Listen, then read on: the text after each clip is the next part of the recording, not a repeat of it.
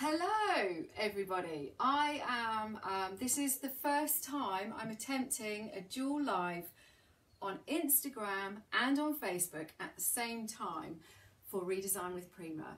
I'm Nicci, I am um, the owner and uh, I suppose creator of Gracie's House and I'm a brand ambassador for Redesign with Prima. So this is a bit of a change to normally scheduled programs. Normally I'm live at one o'clock in the afternoon UK time. Um, so this afternoon, this is 5 p.m. for me, so this is a little bit later. Obviously, which means everyone in the in the US that normally watches me early in the morning, this is more like lunchtime. So, guys, um, I've got two things going on. I'm probably not going to be particularly reacting to comments. So apologies, I'm not ignoring you. It's just there's so much going on. I've got two screens. This is new. I'm going to talk to you about two, two of the new, hi Debbie, I can see Debbie's just popped on and seen, and Patricia.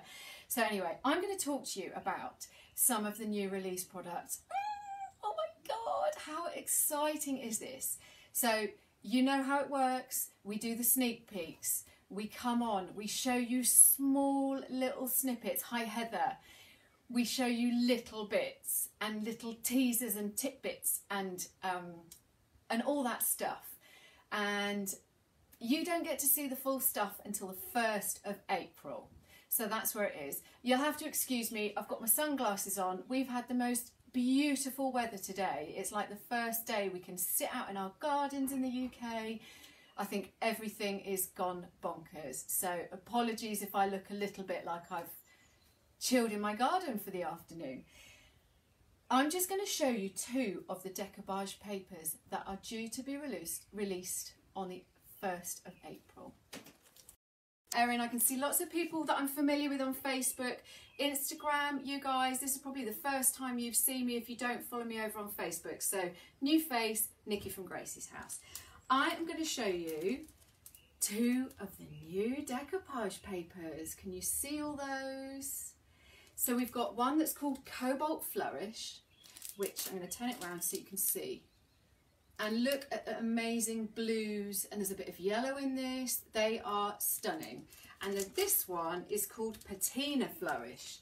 The description says it all, doesn't it? Do you know, I'm going to turn it around. So can you see there's kind of turquoisey colours in there? I know, so excited for new products. Barb, I can see you've come on. Francie, I'm I can't say hello to everybody, so sorry if I've missed you. I'm not ignoring you, I promise. I'm kind of going to strip it down and take it to basics. This release is all about papers. So we have new decoupage papers, we have new A1 beautiful, very artisan rice papers with the squiggly little texture in, but they are stunning. So we have some amazing new products and then something that you're, if you've used our standard decoupage papers, something that you're familiar with, but some new designs. And that's the bit that I'm working with today. I am keeping it to basics. There's a lot of people that I've had comment on my sneak peek saying they'd love to try decoupage and haven't tried it before. So we are literally taking it back to basics. It's a flat surface, there's no creases. This is the best way to start one of your projects. These are going to be my bedside table drawers. So if there's any questions as I go along, guys, I will do my best to pick up an answer. If there's no one monitoring that can help me as I go along, I will answer afterwards. I'm not going to be able to concentrate on everything as I go along. So these are my bedside tables from my bedroom. They will be. I have painted these in um, Charlotte Grey from um, Paint Couture.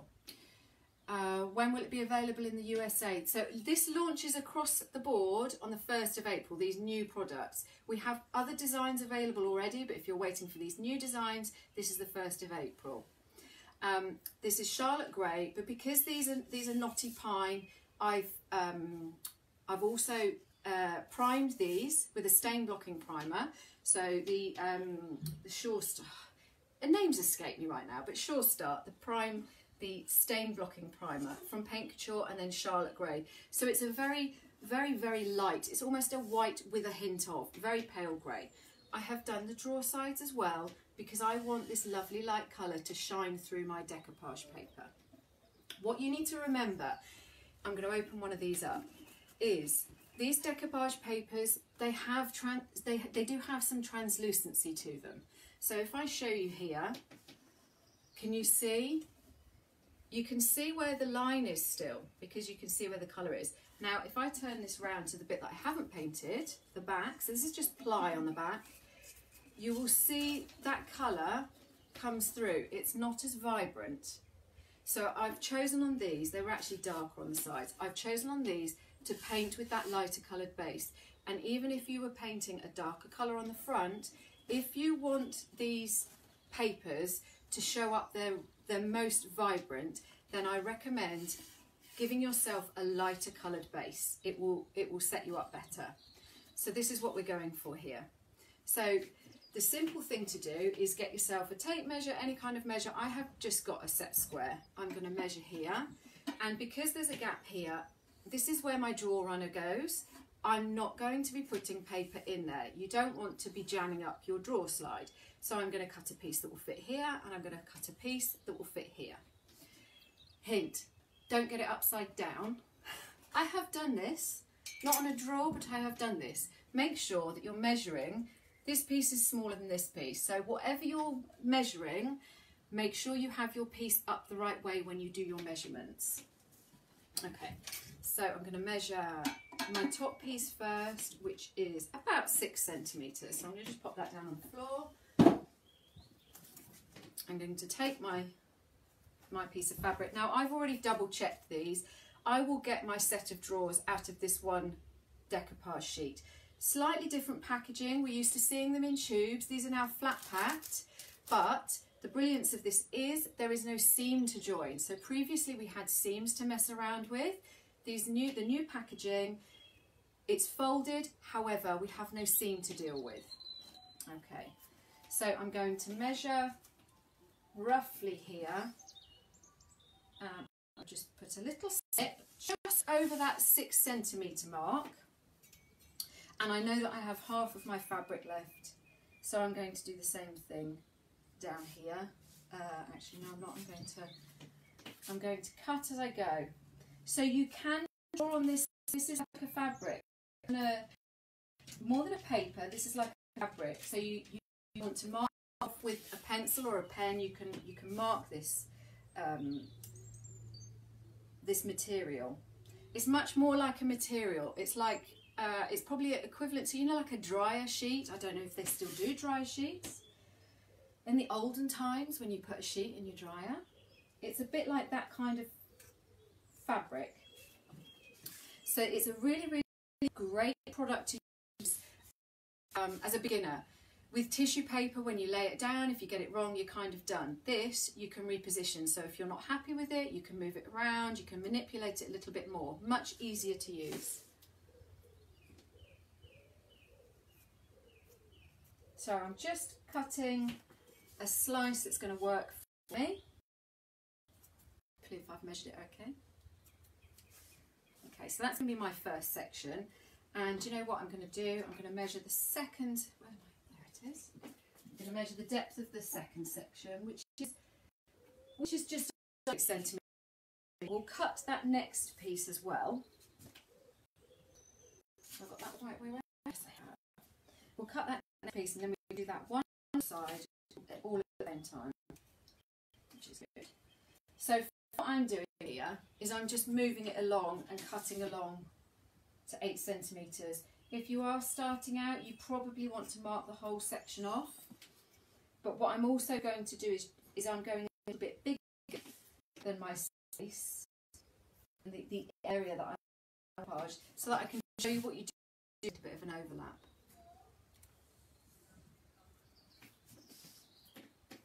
So my, my medium for sticking today is going to be uh, the Paint Couture, um, I'm using flat top coat today.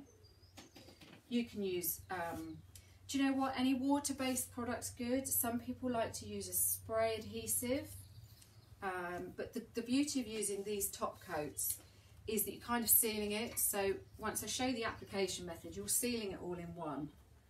Um, and then you can add as many as many coats as you want. Okay, so we have our drawback. So this is our drawer. I'm going to just pop this open, give it a shake. I have pre-shook this off the camera before I went live as well. Again, just to remind you, if you've got questions as I'm going along, I will do my best to answer them afterwards. Roz, you've popped on. Hello. Um, but I'm, I'm really not going to be able to answer as much because I've got two screens flickering in front of me. So you can use flat or satin top coats, any of these will work. Um, and, and simply, all I'm going to do is give a very generous coat to that area. We'll do the top section first, and a little bit more generous than that.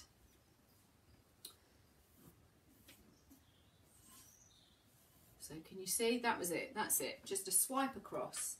And then I've got my thinnest slither. I just want to make sure, actually, that I'm going to get my pattern correct. So let me just line that back up. Yes. And I'm just going to place it on. Now you see I've gone over on the, on the back end because I knew I had plenty to work with. I'm going to move it a little bit this way so that I can sand that top edge off. Like I said before, what you don't want to do is you don't want to clog up your drawer runner when you're doing things like this. I love doing these peekaboo details. Um, it just gives it just gives you an, an extra level of special, I think. So that's it. I'm stuck on. Okay, so I'm going to then add another layer on top. Again, you can be as generous I mean, you don't want it soaking, but you can be quite generous.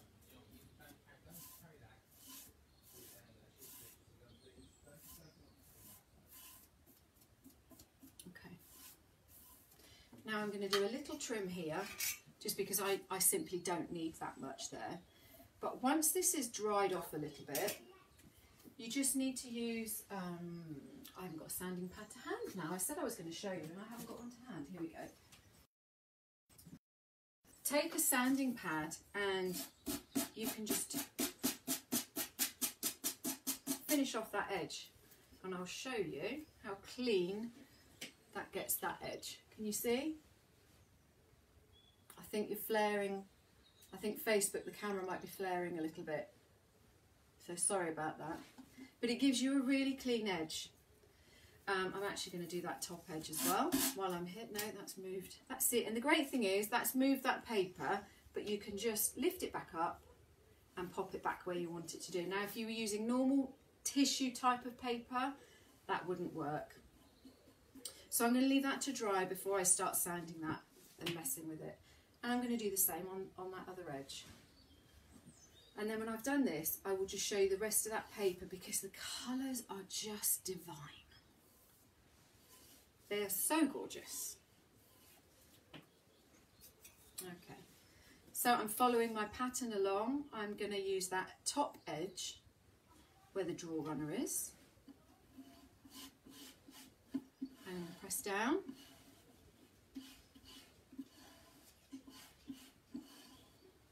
Okay, so I've decided to use both of these papers because um, obviously there's going to be there's a I have a pair of these side tables, these bedside tables, um, and they're going to be a little bit his and hers. So his is going to be the cobalt flourish, which is the more blue, and mine's going to be the patina flourish, which is the kind of turquoise colours, which is that they're all colours I love. Um, don't get me wrong, I love pink, but it's just not something I particularly would have personally in my bedroom. So although it wouldn't be on display because it's on a peekaboo drawer side, that's why I've decided to use these two. I'm going to go over the top.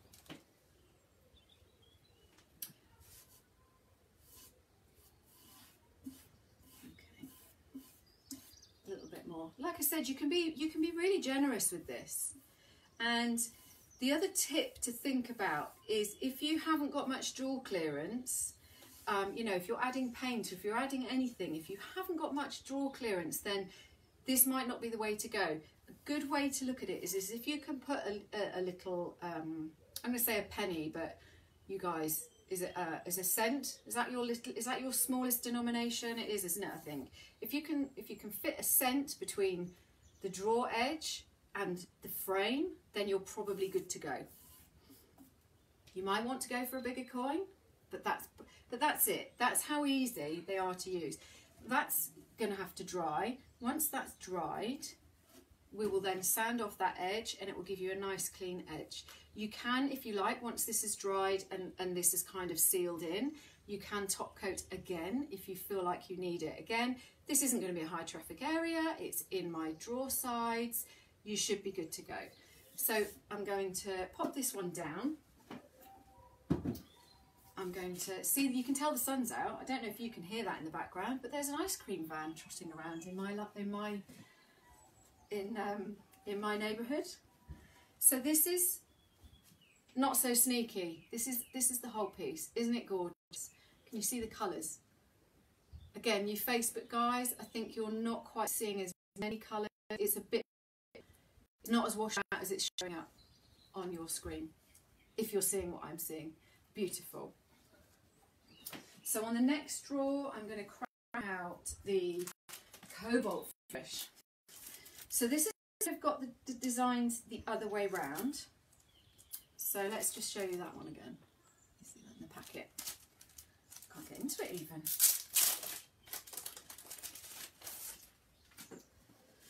So, whereas the patina flourish had the kind of colour in the background and the damask pattern was in the darker colour, uh, in the kind of blacky colour.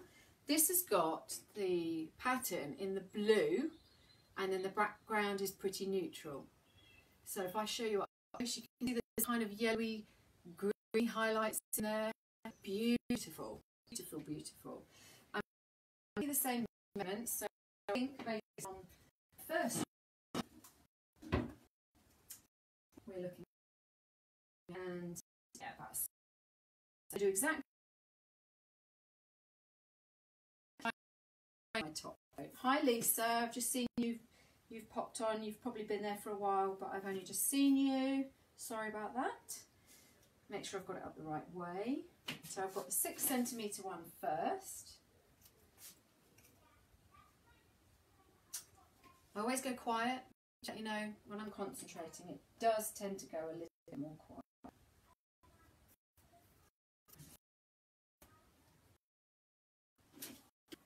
So, has anyone got their eye? What's your favourite sneak piece that you've seen? You haven't all tell me where Do you know? I've got Instagram going as well. It's all complicated, man. but tell me where you're watching from. If you've already decided with the new release items you've got eye. So that's my sentiment. And and also I'm trying to do this upside down. Helen, hello. Have you only just joined me or have you been in and out? Did you forget? It's just too lovely today, isn't it? Did you through the traffic to get back just to watch me?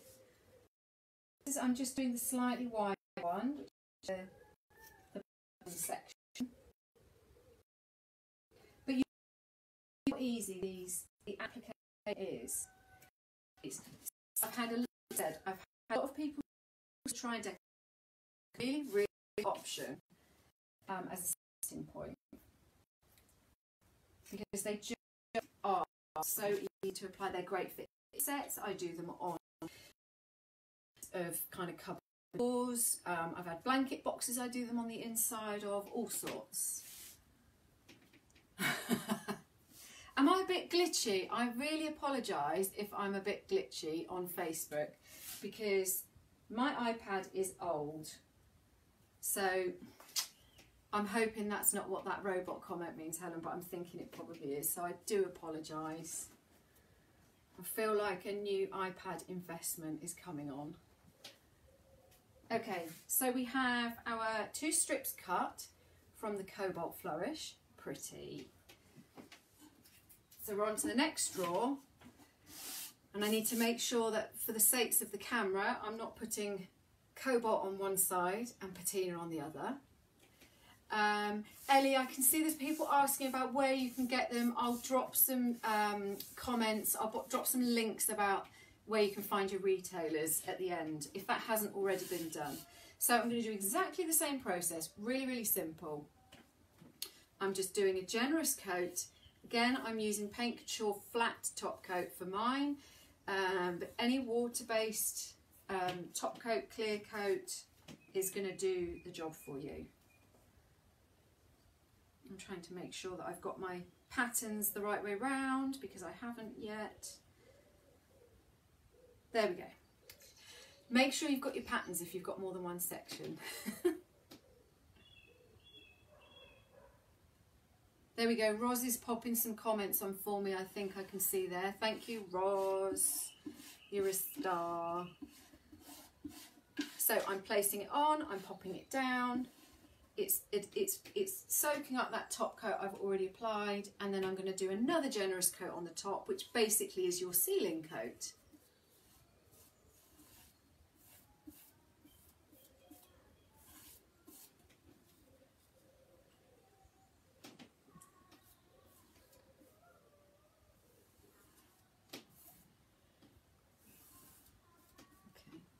Going to cut that piece off at the end. Like I said, I've already measured and I know that each set, each paper, the size of it will allow me to do one bedside complete set. So that's all good. Nancy, can you use it on a tabletop? You can do, but you're going to want to probably seal several times to make sure that you've got um, a really, really good um, uh, finish and a good um, sealed usable finish, durable. Um, I've actually done one I posted today where um, I've, I've, I've done it underneath a glass surface and obviously underneath being ultimately the best because you've then got the glass. That worked really, really well. So again, I've just put one coat, generous on, on the, um, to start me off on that next section. Not getting that right on the edge where I want it. There we go. No, still not doing it. I'm on my tiptoes here, guys, so that you can see what I'm doing. there we go. Okay. I'm going to cut that edge off now.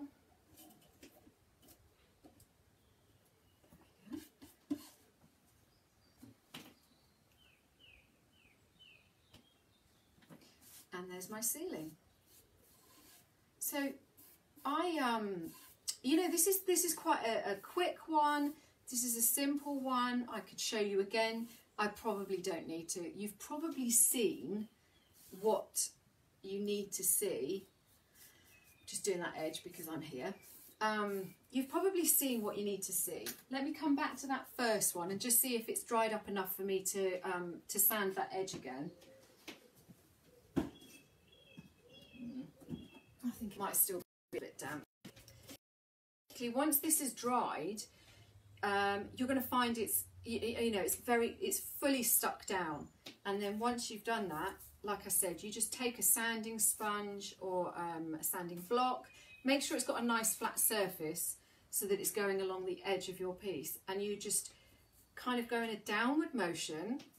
So don't rub backwards and forwards. Try and rub in a downward motion along the edge and that will finish your piece off nice and smoothly.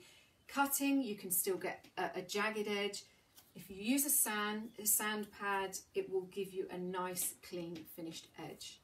Um, I'm just going to see if there's any questions. First layer, I there's someone's talking about a napkin there, but I can't see the whole question, so I will, I will try and I will try and um, catch that one later. Bit late, final coat epoxy pour. Oh, okay, Sue, I think we're talking about something different. so we're talking about the decoupage papers. This is, I mean, essentially that's it, guys. It, I, I kind of thought this was going to be about a half hour slot today, simply because it's relatively, it is a relatively easy product to use if you're, um, you know, if you're planning on it or if you haven't used it before. I'd urge you to get cracking and start with these decoupage papers. So let me show you the packaging again. Right way around, no. So that one's the Patina Flourish. So this is the new packaging.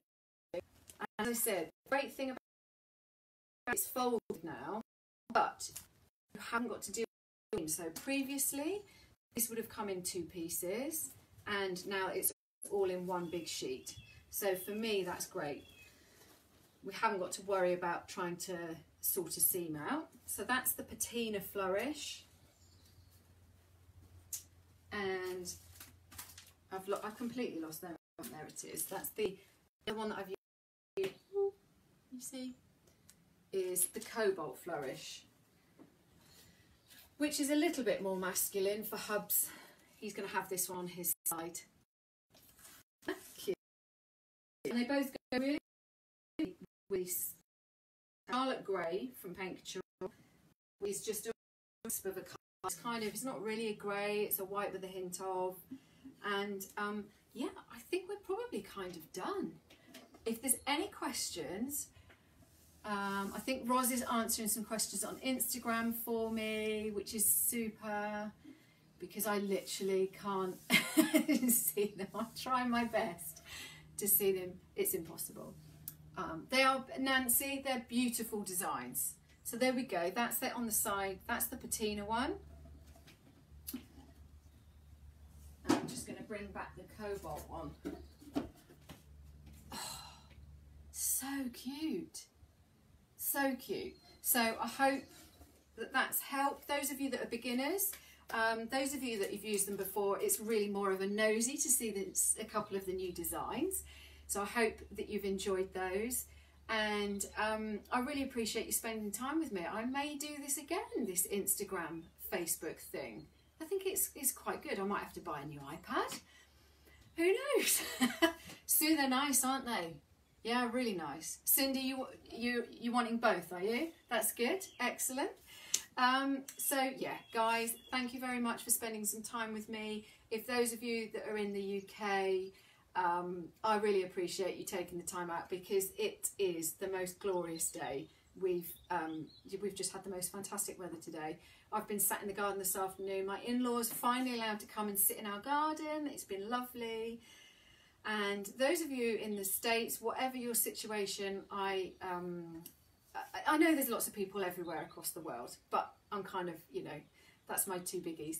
Um, I just appreciate you spending time with us. And I'm going to have to try and work out switching both of these off without getting an up the nose shot. So I hope that works okay.